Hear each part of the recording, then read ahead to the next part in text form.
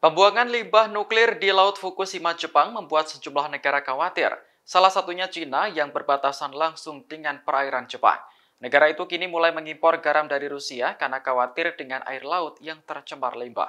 Sebuah surat kabar Tiongkok mengonfirmasi bahwa negara tersebut mengalami lonjakan permintaan garam di tengah pelepasan limbah nuklir. Pihak berwenang sudah meminta warganya untuk menahan diri dari pembelian massal. Namun, warga di sekitar perbatasan mulai membeli garam dari Rusia sebagai solusi awal.